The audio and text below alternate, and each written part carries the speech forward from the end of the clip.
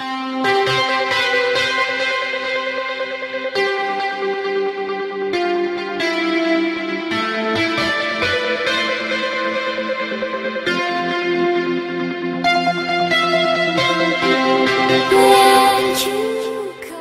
In nostra compagnia nella serata della decima edizione del premio Leone d'Argento un grandissimo ex dell'Empoli Vittorio Tosto che è stato qua premiato tra l'altro dal sindaco di Vinci Dario Parrini. Vittorio io vorrei subito partire col chiederti cosa ti è rimasto di Empoli addosso.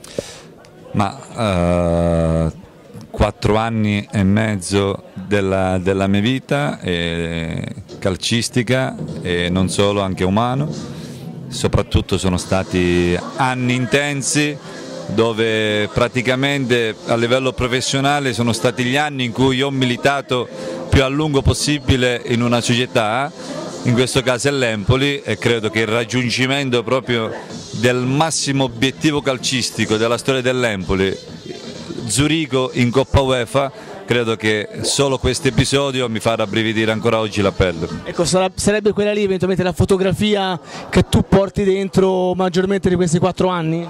Guarda, ce ne sarebbero tante, tante credo naturalmente il primo anno è stato l'anno dove sono arrivato ad Empoli con tantissime difficoltà, c'era una situazione di Serie A, eravamo penultimi l'Empoli da 11 anni, da 11 giornate che non riusciva a ottenere la vittoria.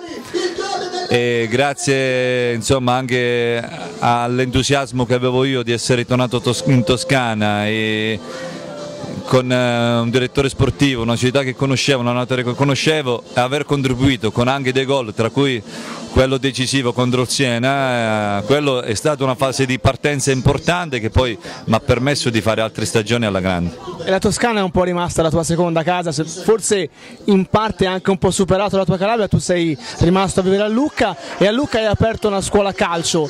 Come si sviluppa questa scuola calcio Vittorio? Guarda, io non ho una scuola calcio proprio di preciso, ci tengo a dire, io oh, mi sono laureato in diritto sportivo per la gestione tecnica naturalmente delle società di calcio, poi ho, appro ho approfondito vari tipi di, di materia, tra cui mi sono iscritto alla management dello sport, proprio per la gestione logistica, organizzativa, eventi, tutto quello, insomma la, il, il rovescio della medaglia che non è solo la parte tecnica o calcistica di quello che già conoscevo, volevo vedere realmente dietro la scrivania cosa realmente mi poteva dare uno studio, mi poteva o perlomeno approfondito delle materie che noi calciatori purtroppo trascuriamo. E mi rendo conto che da dirigente diciamo, ho investito in un centro sportivo e da lì gestendo tutto da me capite bene che volevo anche cercare di far tornare i numeri. E da questo ho, fa ho fatto esperienza e mi sento di dire che mi piacerebbe lavorare nel mondo del calcio come dirigente sportivo. Quali sono le differenze che hai notato maggiormente tra quando eri calciatore ed adesso? C'è qualche magari rimpianto che dai al Vittorio Tosto calciatore? No, eh, sinceramente no. L'unico rimpianto che realmente mi do perché a livello calcistico in tutte le città dove sono stato e tutte le magliette che ho indossato ho cercato di rispettare la storia della città cercando di uscire dal campo sempre, sempre, sempre, sempre con la maglietta strizzata di sudore. Questa, mi sono posto sempre questi obiettivi, indipendentemente dalle critiche o dagli applausi, ho cercato sempre, sempre di rispettare la maglia perché noi si indossa la maglia e siamo di passaggio, ma la maglia, la storia di una città rimane, quindi ho cercato sempre di scendere in campo rispettando questi concetti. Io mi rimpiango solo una cosa, purtroppo non ho portato a termine gli studi è un consiglio che do ai giovani, lo studio se, se ci si fa non bisognerebbe trascurarlo. E su quest'ultimo aspetto è molto importante per quanto riguardava l'onore della maglia, noi siamo stati da poco ad Ascoli dove tu hai giocato ed è anche ad Ascoli uno dei nomi che hanno ricordato con maggior affetto è il tuo, a Salerno campeggia da anni uno striscione intitolato a te, questa è dimostrazione insomma, di quanto hai detto.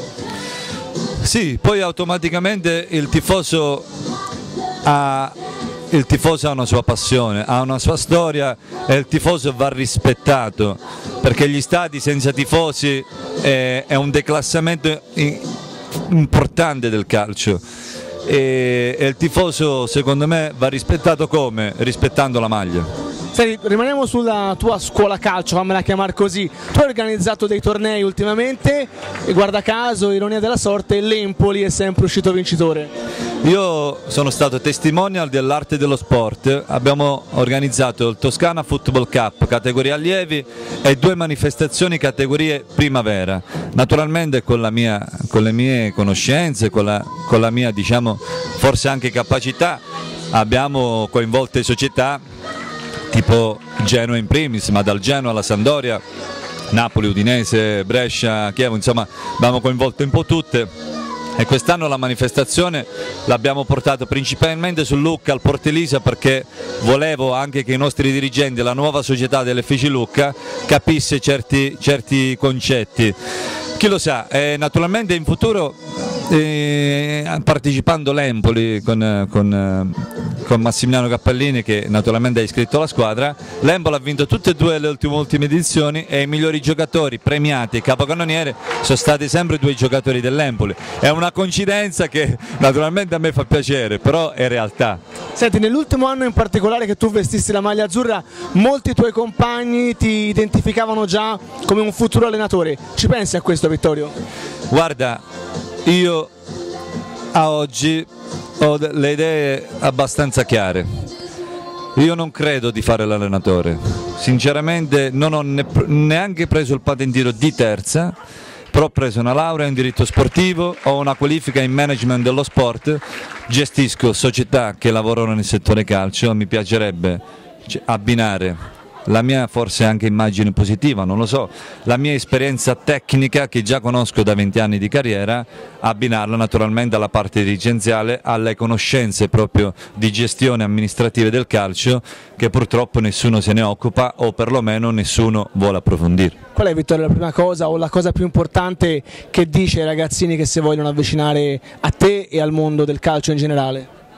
È semplice, bisogna trasmettergli la passione di questo, di questo sport, la passione.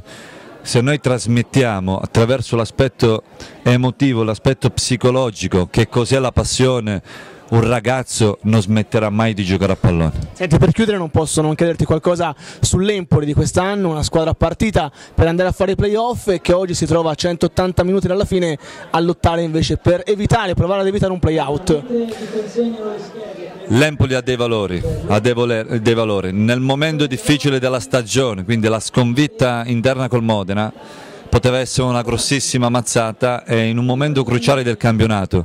I senatori dell'Empoli, che io non perdo una partita, naturalmente osservo tutto il calcio, in primis naturalmente l'Empoli e la Serie B, i senatori dell'Empoli sono usciti fuori e io sono convinto che porteranno a termine questo campionato nel migliore dei modi, facendo i massimi scongiuri, ma sono convinto che l'Empoli questi 180 minuti riuscirà a, ottenere il risultato che, che tutti quanti noi ci auguriamo.